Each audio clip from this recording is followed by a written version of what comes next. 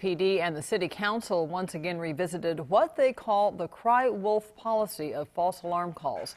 The BPD showed the City Council a study they did on last year's false calls, finding that close to 17,000 alarm calls came in on average in a year, but less than 500 of them were legitimate. It's a 97% failure rate, and today police determined that the public needs more than just a penalty system, they need education. We're going to put together a brochure. It's going to go out and help educate the consumers so that we can reduce the number of false alarms, get P- BPD to be more responsive, and at the same time also ensure that we're keeping our streets safe. Right now, if there is a false alarm call, there is a first a warning and then a second notice with a fee of $105 that can be waived if you go to alarm school. But that fee won't be waived for any further false alarms.